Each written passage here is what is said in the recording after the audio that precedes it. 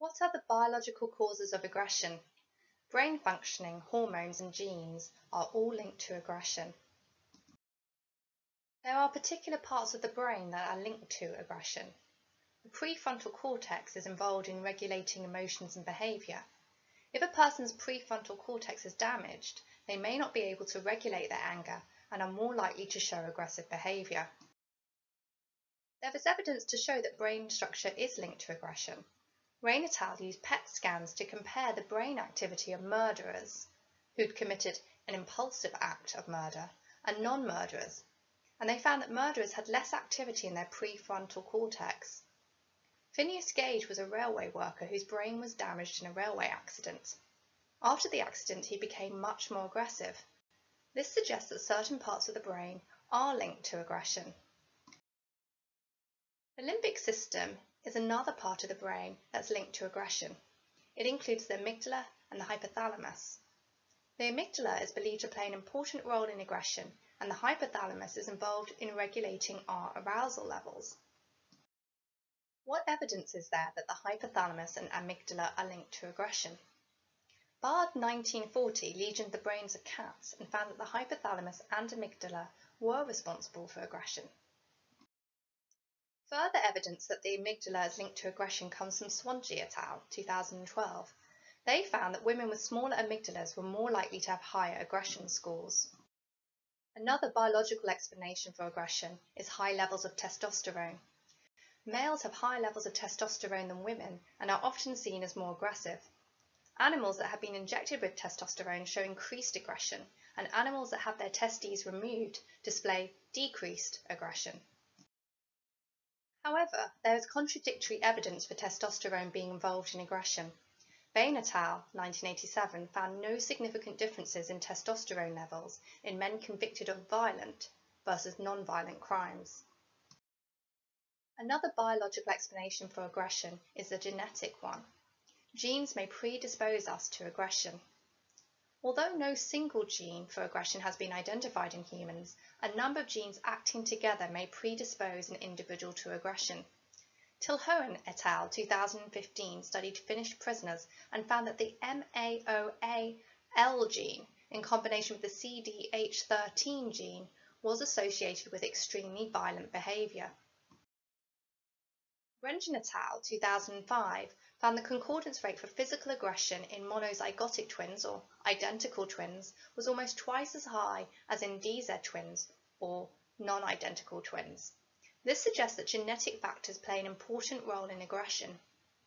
And Waldman, 2002, conducted a meta-analysis of 51 twin and adoption studies and concluded that genes play an important role in aggressive behaviour. This study supports the idea that genetic factors cause aggression. A weakness of the genetic explanation of aggression is that it is reductionist because it ignores other factors that cause aggression. For example, aggressive models in the media may lead to aggression, and aggressive family members or peers may also affect aggression levels. Now answer this five question multiple choice quiz. Question 1. What part of the brain is not linked to aggression? Is it A, the prefrontal cortex, B, the hippocampus, C, the hypothalamus, or D, the amygdala?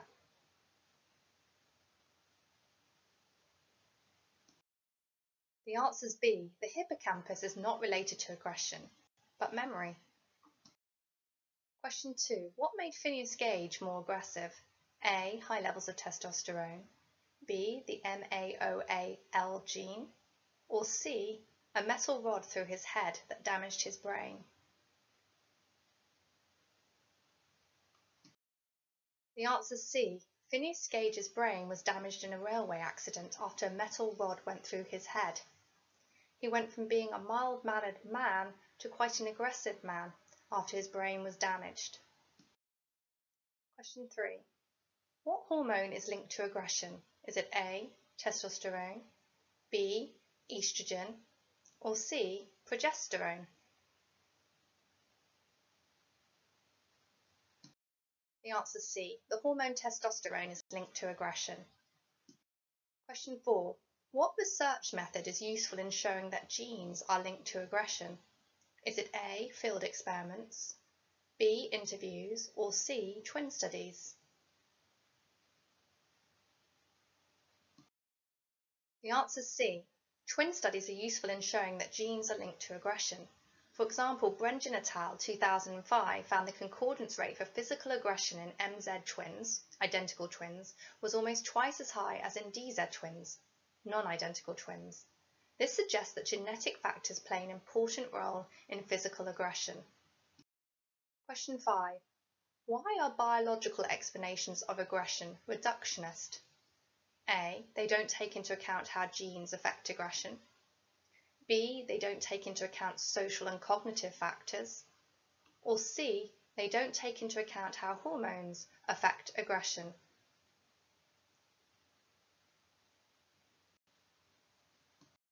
The answer is B. Biological explanations of aggression reduce aggression to biological factors and don't take into account social and cognitive factors.